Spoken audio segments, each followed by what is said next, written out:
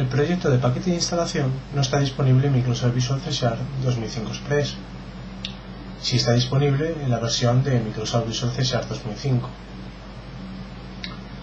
Una consideración a tener en cuenta a la hora de crear un paquete de instalación de nuestra aplicación es que el cliente debe disponer de la versión de .NET Framework necesaria para que nuestro proyecto trabaje.